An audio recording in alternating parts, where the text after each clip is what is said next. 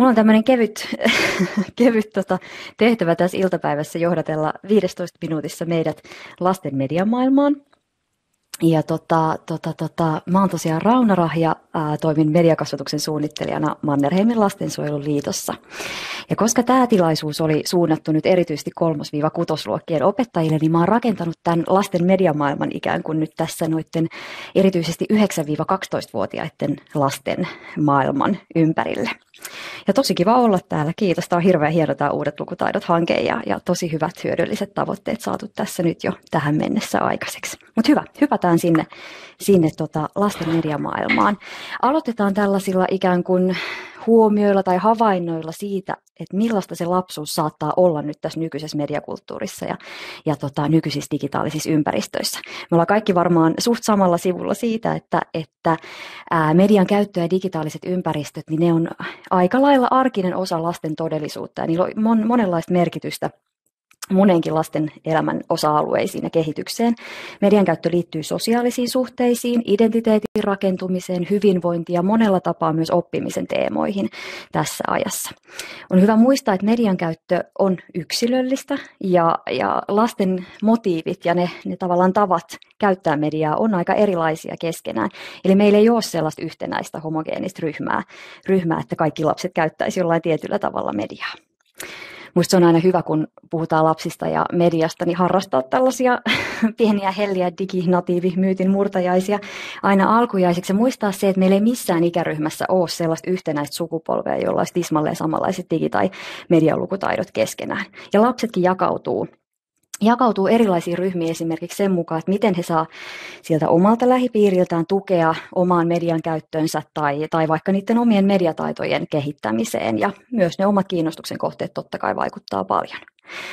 Mä oon tässä omassa työssä tehnyt sellaisen havainnon, että, että tuommoisilla 9-12-vuotiailla lapsilla, niin heillä voi olla jo aika, aika syvä tai aika laajakin tietoisuus ja tieto äh, tietotaso siitä, että minkälaisia kaikkia medioita on olemassa, millaisia sisältöjä löytyy ja, ja millaisia median muotoja on ylipäänsä löydettävissä, mutta sitten ehkä se oma arkinen median käyttö saattaa rakentua pitkälti niiden samojen sisältöjen tai kanavien äärelle, jolloin se on ehkä vähän kapeampi sit se, se, se, tota, se median skaala ikään kuin.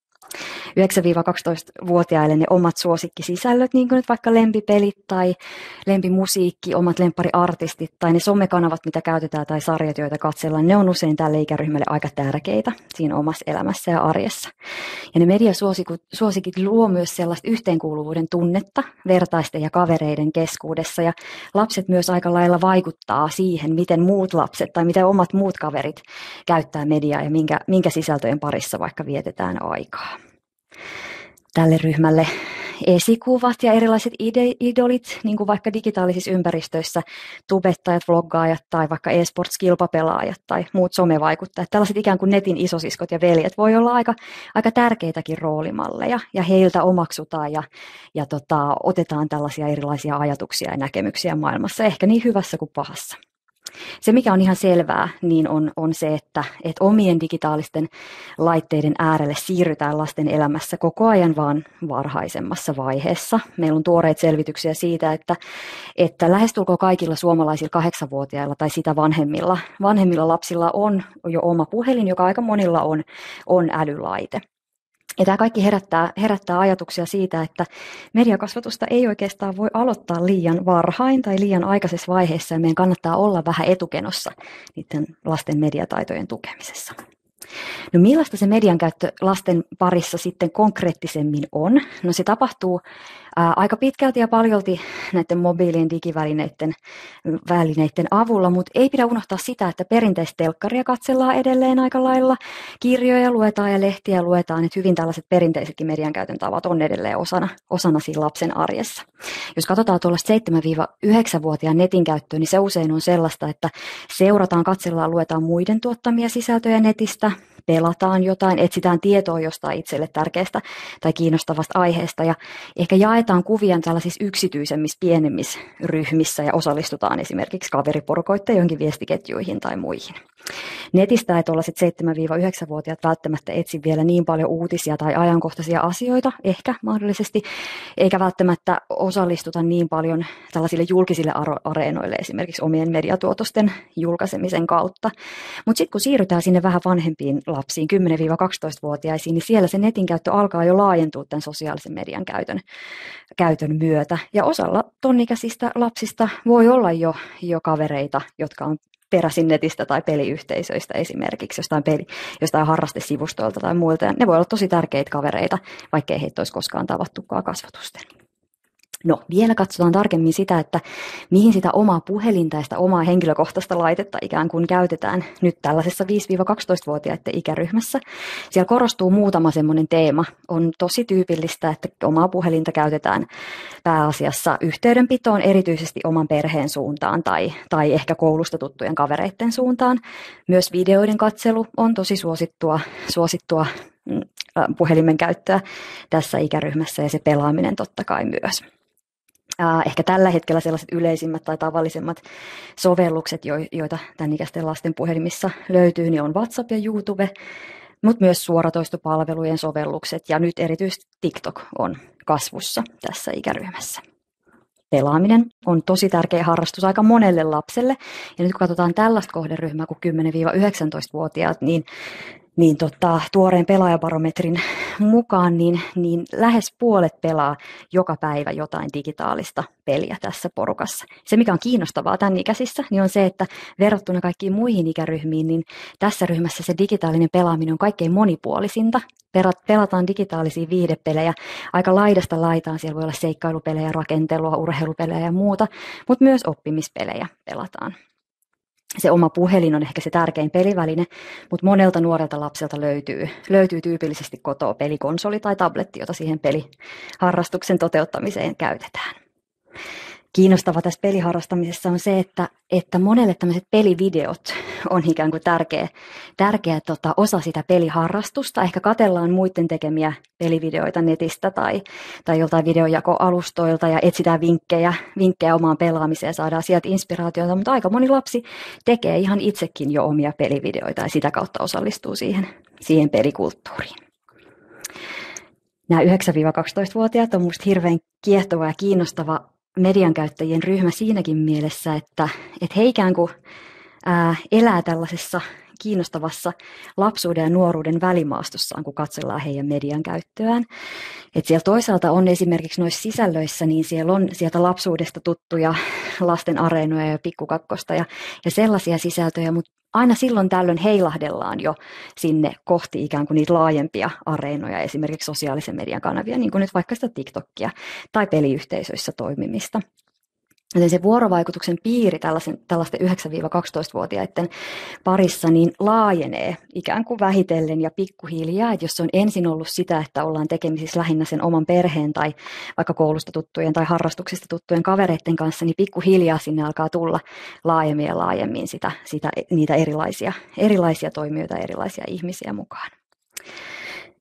Mm, mitä vanhemmaksi mennään, niin sitä, sitä keveämmäksi se vanhempien vaikutus ikään kuin siinä median käytössä muuttuu, että ehkä tuollaiset 7, 8, 9-vuotiaat on vielä, on vielä tota, median käytöltään siinä tilanteessa, että vanhemmat määrittelee suhteellisen paljon sitä, että missä tilanteissa vaikka mediaa voidaan käyttää ja kuinka pitkiä aikoja tai mitä sisältöjä ehkä seurataan, mutta ää, tällaiset 10, 11, 12-vuotiaat alkaa jo osittain muistuttaa sillä median käytöltään tällaisia ehkä yläkouluikäisiä nuoria, joilla se on se median käyttö on paljon itsenäisempää ja ikään kuin omassa hallussa.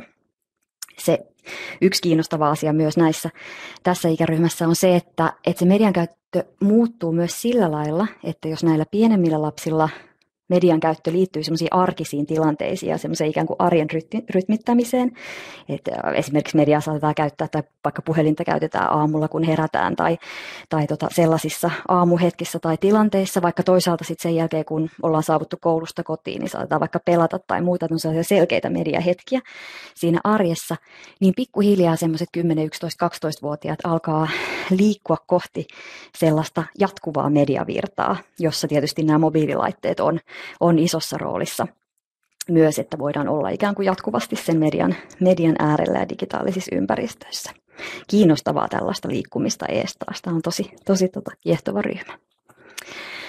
No se, mikä näkyy näissä, näissä tota, osaamis, osaamiskuvauksissa ja, ja, tota, ja näissä tota, Uudet lukutaidot-hankkeen sisällöissä ihanalla tavalla mun mielestä ja tosi tärkeällä tavalla. Yksi asia, siellä on paljon hyvää ja hyödyllistä, mutta on nämä vuorovaikutustaidot ja niiden merkitys digitaalisissa ympäristöissä ja, ja mediakulttuurissa ylipäänsä.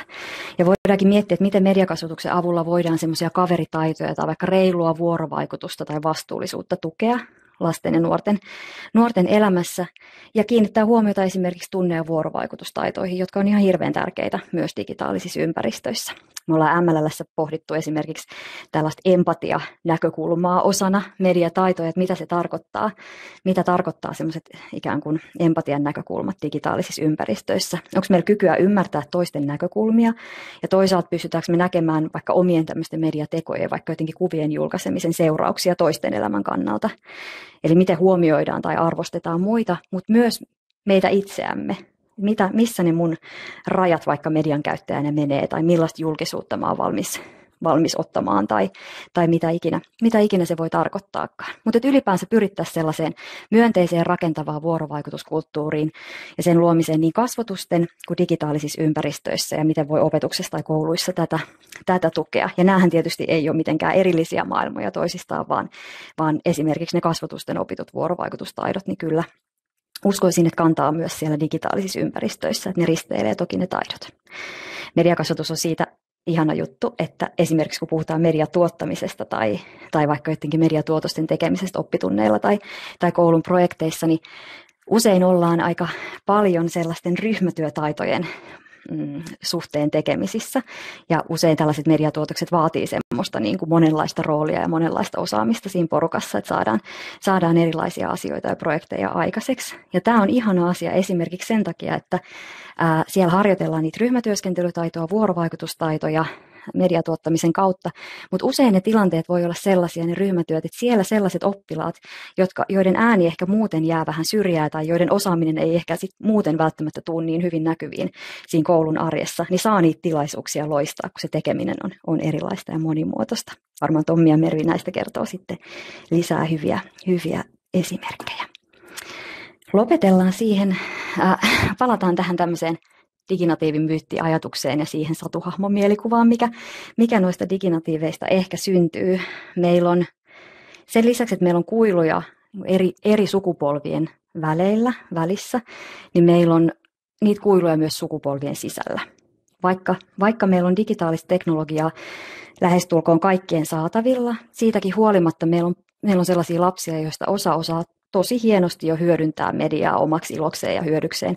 Ja sitten on paljon sellaisia lapsia ja nuoria, jotka, jotka ei näin osaa tehdä eikä näe niitä, niitä hyötyjä itsensä kannalta tai osaa käyttää mediaa, mediaa kovin monipuolisesti sen takia mä mietin, että tässä mediakasvatuksessa ja, ja näissä niin yksi semmoinen koulun tärkeä tehtävä on miettiä ehkä sitä, että miten voidaan semmoisia yhdenvertaisia mediataitoja lasten suhteen tukea ja miten voida, voidaan kannustaa tai rohkaista semmoiseen monimuotoiseen, monipuoliseen median käyttöön, että, että mahdollisimman monelle lapselle tulisi kokemuksia erilaisista mediasisällöistä, mitkä ei välttämättä ehkä ole tuttuja sieltä omasta arjesta, mutta millä voi olla jotain hyötyä tai, tai vaikutusta sun elämään. Kokeillaan erilaisia mediatekemisiä, erilaisia vaikuttamisen muotoja Nämä voi olla yksi asioita, joita voidaan miettiä. Mutta sitten myös sitä, että miten, miten se lasten oma mediamaailma ja ne, ne arvokkaat, arvokkaat omat mediasuosikit tai, tai tekstit, miten ne tulee osaksi opetusta ja näkyy siinä, siinä koulun arjessa ja mitä, mitä me voidaan niistä ammentaa.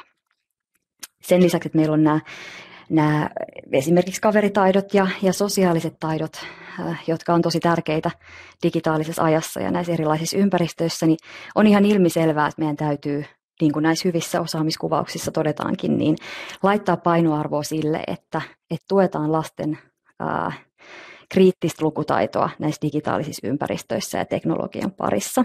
Pohditaan vallan kysymyksiä jo ehkä aika nuortenkin lasten, lasten kanssa. Mitä esimerkiksi algoritmit tekee meidän tiedonsaannille tai miten ne muokkaa meidän, meidän digitaalisia ympäristöjä ja tullaanko me siitä kaikesta näkyviksi, miten ne vaikka vaikuttaa meidän ajatteluun tai tiedonsaantiin. Miten hyvin me pystytään arvioimaan ylipäänsä tiedon luotettavuutta tai, tai erilaisten lähteiden, lähteiden luonteita ne on kiinnostavia ja tosi tärkeitä kysymyksiä tässä ajassa, missä, missä, tota, missä liikutaan vaikka disinformaation ja misinformaation maailmoissa. Sen lisäksi sitä, sitä kriittistä lukutaitoa on hyvä tukea suhteessa näihin sisältöihin ja muihin, niin mä näkisin, että se on myös ihan tärkeää, että sitä kriittistä otetta ikään kuin kohdistetaan myös, myös niihin, tai sitä katsetta kohdistetaan myös siihen omaan ajatteluun. Ja tuetaan lapsia siinä, että, että he voi ehkä jollain lailla jossain määrin tulla äh, tietoisemmiksi siitä, että mistä ne omat ajatukset on peräisin tai omat tiedot on perä, peräisin, mihin se oma tietopohja perustuu ja, ja mistä saa esimerkiksi nyt sitä luotettavaa tietoa. Miksi musta tuntuu joltain tietyltä, tietynlaiselta, kun mä seuraan jotain tiettyjä mediasisältöjä ja muita, ikään kuin kääntää sitä katsetta kohti, kohti sitä omaa ajattelua ja omaa, omaa, oman toiminnan reflektointia. Tämä on minusta hirveän tärkeää, koska mä uskon, että jos me median käyttäjinä pystytään tunnistamaan niitä omia vahvuuksia ja vajavaisuuksia, niin me ollaan taas askeleita kohti lähempänä niitä uusia, uusia lukutaitoja ja uusia medialukutaitoja. Loppuu tämmöinen maksuton mainos, mainos siinä mielessä, että VMLssä tehdään toki tosi paljon mediakasvatuksen materiaaleja. Mä oon koostanut teille pienen, pienen linkkilistauksen siitä, että voitte etsiä vaikka ideoita oppitunneille tai, tai poimia materiaaleja tai videoita, joita hyödyntää omassa opetuksessa opetuksessa tuolta meidän, meidän materiaaleista ja sivuilta. Lisäksi meillä on tämmöinen ihana aikaseikkailu, kerhokokonaisuus, erityisesti nyt kolmos-nelosluokille, joissa, joissa harjoitellaan tulevaisuustaitoja esimerkiksi nyt pelillistämisen kautta tai, tai muiden, muiden pelillisten elementtien välityksellä. Sen lisäksi meillä on ihan tuoretta lapsia media-opasta, joka juuri tähän kohderyhmään, tähän ikäryhmään tarjoaa tietoa, tietoa kasvattajien tueksi. Hyvä. Seuraavaksi mulla taisi lipsahtaa lähteet, juurikin näin.